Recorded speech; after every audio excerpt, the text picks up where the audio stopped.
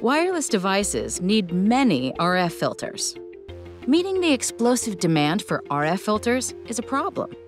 Designs are increasingly complex. There aren't enough designers.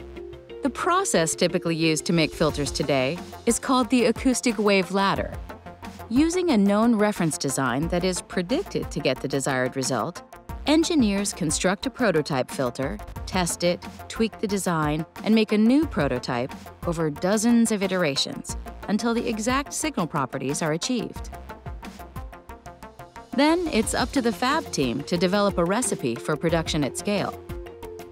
This costly trial and error process can delay bringing an innovative product to market for months, years even. Resonant's infinite synthesized networks approach is radically different, with substantial advantages in time, cost, and precision. Much of the complexity in RF filter design stems from different blocks of frequencies that need to be passed or rejected in many different combinations. ISN software evaluates innumerable combinations of electronic components that could achieve the result.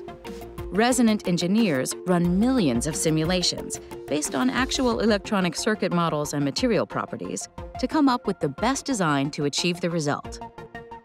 This infinite synthesized networks methodology, unlike making trial and error prototypes, produces an exact recipe of electronic components that conforms to normal fabrication processes.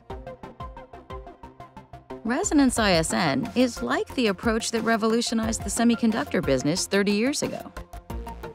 With Resonant ISN, the filter industry will design filters cheaper, better, and faster, and meet the demands of next-generation mobile networks. Here's where to learn more.